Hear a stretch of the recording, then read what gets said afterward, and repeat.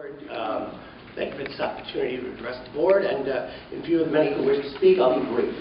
One, Spectra Energy's plan to put a pipeline within 105 feet of spent fuel rods is insane and can only be motivated not by need but by greed. I urge you to reject it for the following reasons.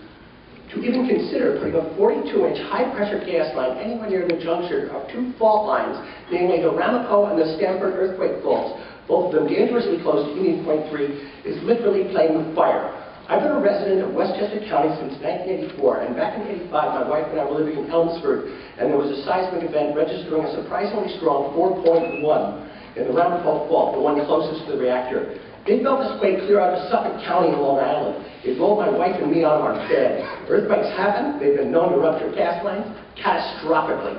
It happened in LA, it happened in San Francisco, and it can happen here. Additionally, of your own NRC studies titled Calculation of Reactor Accident Consequences, or CRAC2, updated for Indian Point 3, which recently had yet another transformer fire, found that in the event of an accident or breach of nuclear materials, either the core or spent nuclear fuel containers, the, uh, the report estimates 50,000 peak early fatalities, 167,000 peak early injuries, and tens of thousands of cancer deaths, and a cost in property damage of 314 billion. It is psychotic to put a high-pressure gas line rated at 850 pounds per square inch anywhere near this place. It's like falling asleep on railroad tracks. You can do it 99 times with no problem, but that 100th time will be the cruncher, quite literally. Roll the dice all you want, but eventually you'll roll snake eyes. The plant is situated in one of the most dense population areas in the world, home to an estimated 20 million people. What is at stake is not only New York City, with its many irreplaceable historic and cultural sites, the home of Wall Street, the financial center of not only the United States, but arguably the entire world.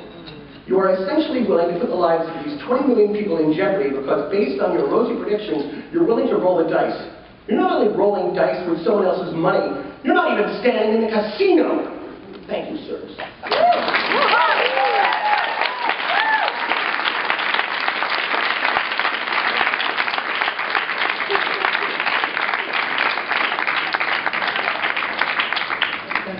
Please go ahead and